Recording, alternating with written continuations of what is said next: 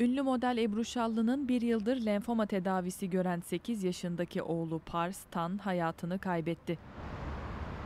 Şallı bir yıl önce kemik ağrıları ve halsizlik şikayetleriyle doktora başvurduklarını ve konulan lenfoma tanısının ardından hastalıkla mücadele ettiklerini söylemişti.